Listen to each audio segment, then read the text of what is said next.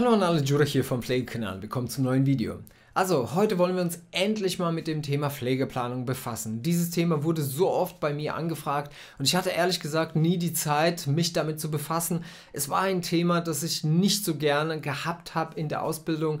Ähm, ich hatte eine gute Note, ich habe die Klausuren gut gemacht, aber es ist es brauchte einfach Zeit, um das alles zu erfrischen, um ähm, das Input wieder zu wiederholen und dann dieses Video herzustellen. Als allererstes, bevor ich loslege, es gibt einige Videos, die knüpfen auf dieses Thema an oder dieses Thema knüpft auf andere Videos an. Es ist egal, wie ihr es haben wollt. Auf jeden Fall alle Videos, die in irgendeiner Form an dieses Thema anknüpfen oder verbunden sind, habe ich in der Beschreibung verlinkt. Also wenn ihr Interesse habt, schaut euch diese Videos an dann habt ihr ein komplettes Bild.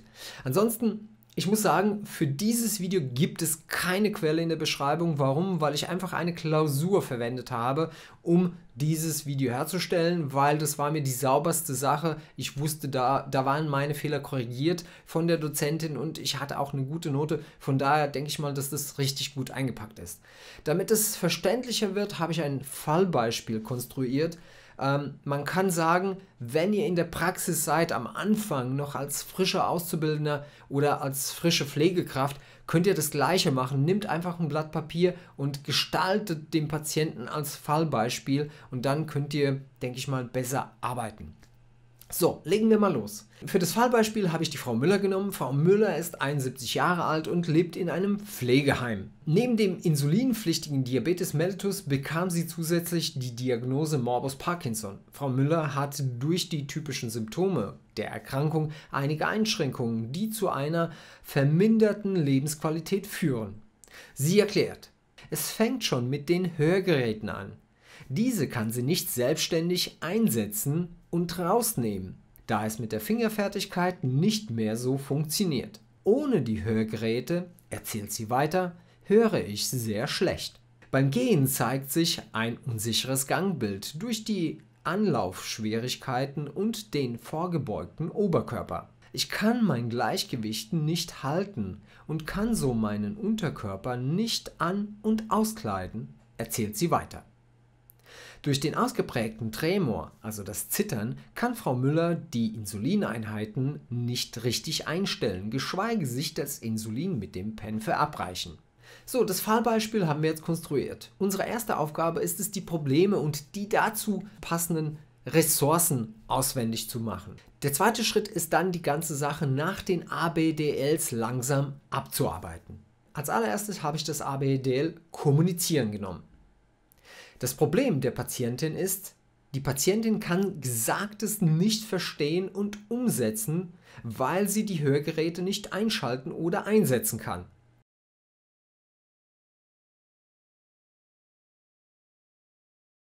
Die Ressource, der Patient hat eigene Hörgeräte und akzeptiert die Hilfe der Pflegekraft. Was ist hier die Ursache?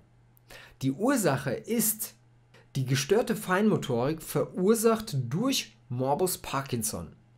Also es, die Ursache ist nicht die Krankheit, nicht der Morbus Parkinson, sondern das Symptom, also die Auswirkung des ähm, Morbus Parkinson auf die Patientin. Also das gestörte Fingergefühl ist die Ursache. Das Pflegeziel ist, Patient hat jeden Morgen die Hörgeräte an und Patient versteht Gesagtes. Die Maßnahme ist, die Pflegekraft schaltet und setzt die Hörgeräte dem Patienten ein in seinem Zimmer vor der Morgenpflege und bei Bedarf.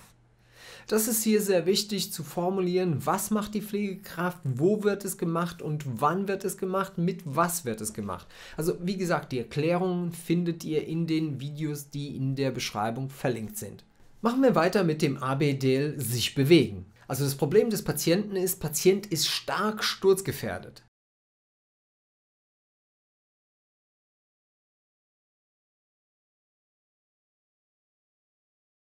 Die Ursache unsicheres Gangbild verursacht durch den Morbus Parkinson.